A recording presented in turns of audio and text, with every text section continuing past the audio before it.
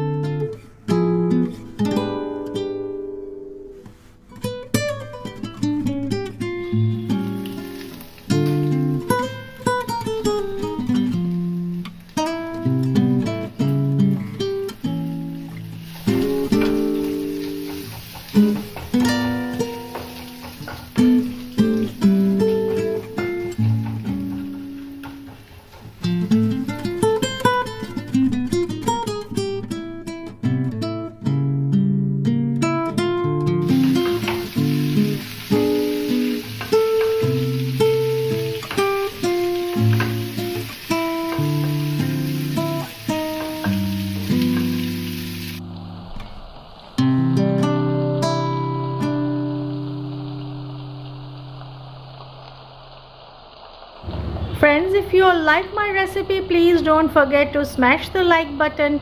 Share with your friends those who will be interested in vegetarian dishes like this. And those who are new to my channel, my humble request, please, please do subscribe along with the small bell icon. Don't forget to press the bell icon also so that you get all the notification as soon as I upload my videos.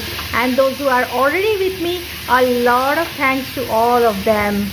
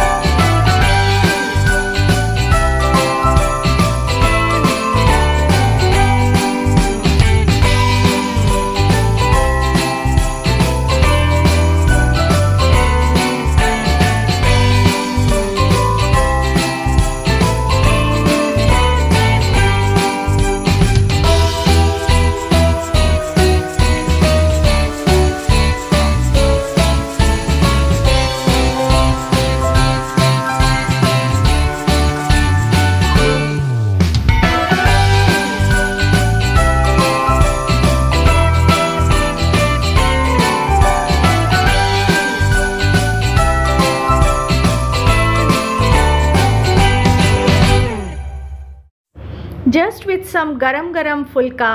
Be happy be merry catch you all soon again. Thank you all for watching